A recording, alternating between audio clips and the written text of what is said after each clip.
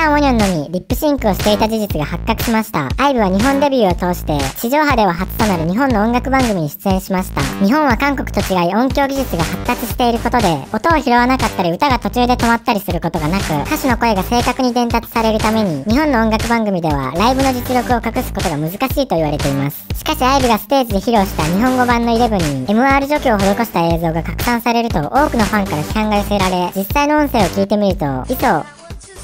デイ、ユジン、リズ、